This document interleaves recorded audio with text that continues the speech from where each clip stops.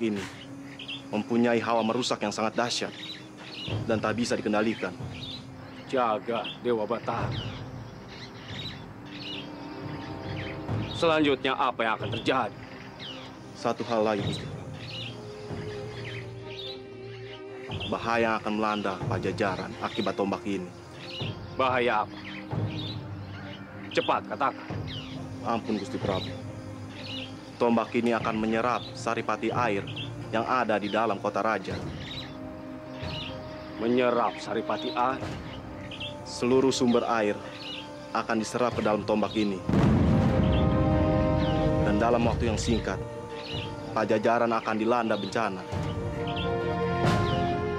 Astagfirullahaladzim.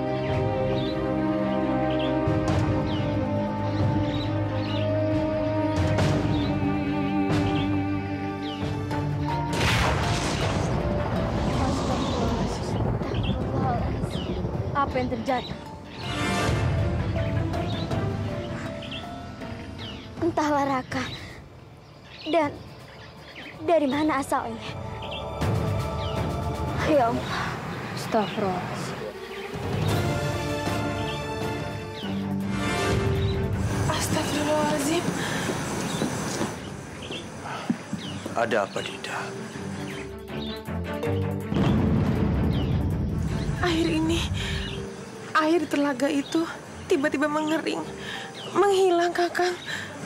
Apa yang terjadi, Dinda? Aku juga tidak tahu, Kakang.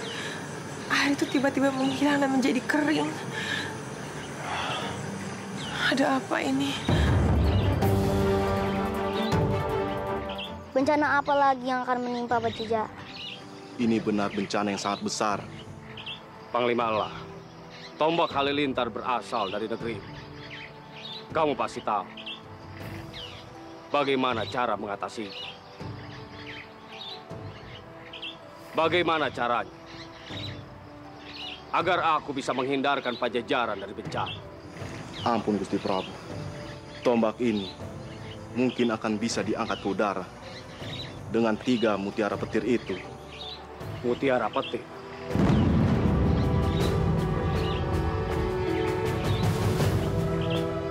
Kita harus segera menyusulnya.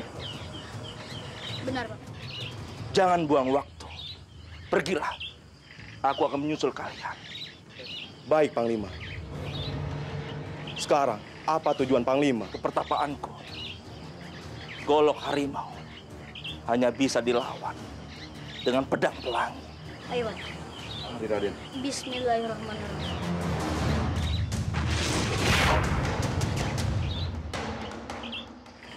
Jagat Dewa Batara. Kekacauan ini terjadi karena perempuan terkutuk itu.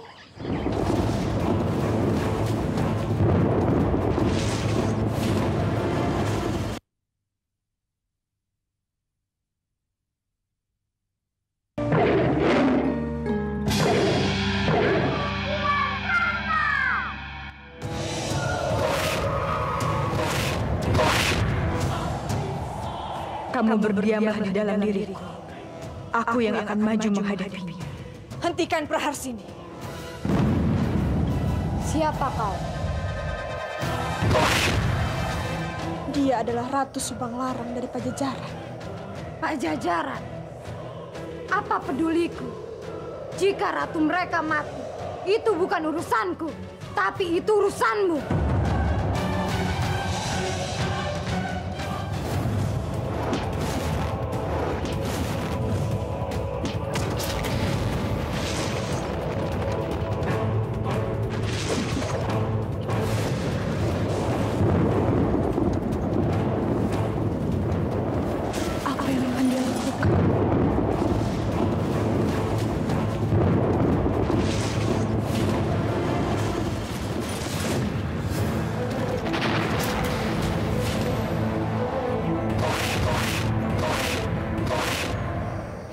Sekali golok harimau.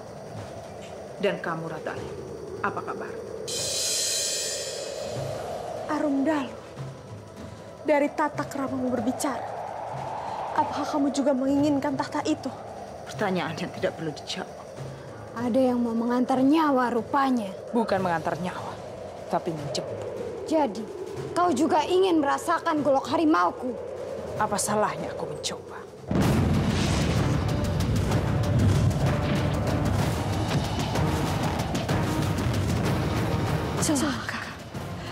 Arumdalu bisa terbunuh oleh golok harimau. Lalu bagaimana caranya? Cepat kau lerai pertarungan ini.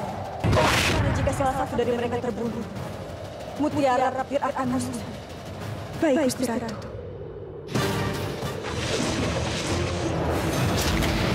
Tahan! Minggir, atau ku bunuh sekalian. Aku lebih baik mengalah daripada aku terbunuh.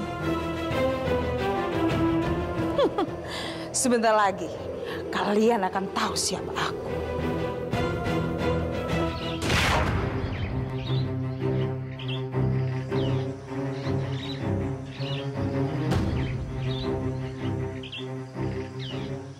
Jagat Dewa Batara.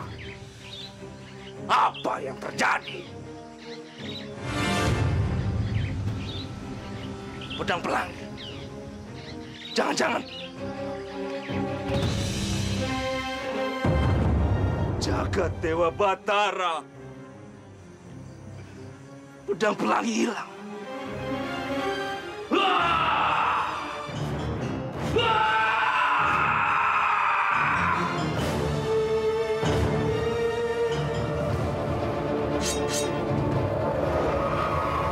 Pedang pelangi.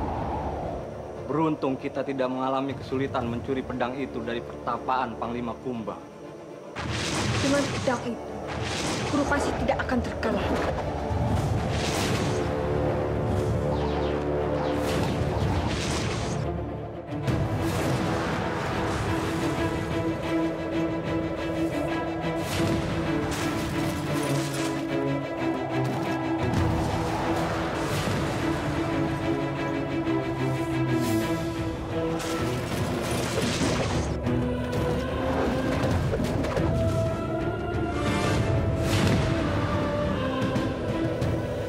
Jagat Dewa Batara.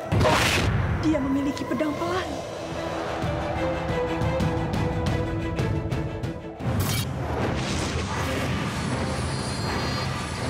Paman, kita harus segera menghentikan pertarungan ini.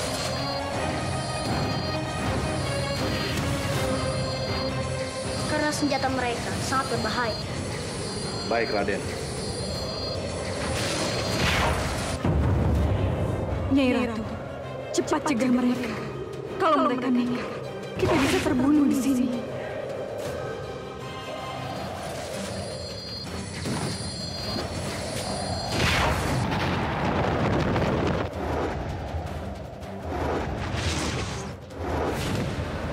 Praharsini, Arumdalu, berhentilah kalian berkelahi. Kalau memang kalian menginginkan tahta itu, ambillah. Kenapa tidak kau lakukan dari dulu, Raka? Tunggu. Kau berikan pada siapa, Raka? Padaku atau Arumdalu? Tentu saja, kepada siapa yang masih hidup setelah pertarungan ini, maka dia yang berhak menduduki tahta.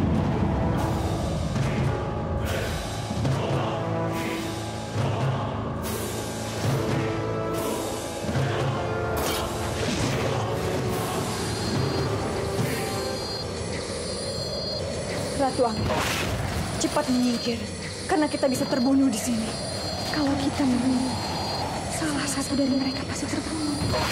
Akibatnya, mutiara kecil akan lenyap selamanya.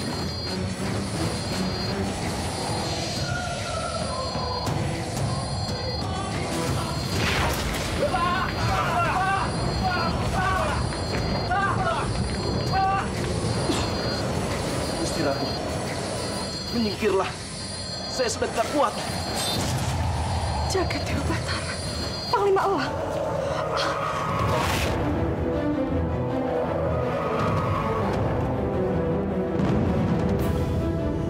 Ibunda. Ibunda dalam bahaya. Aku harus menyelamatkannya.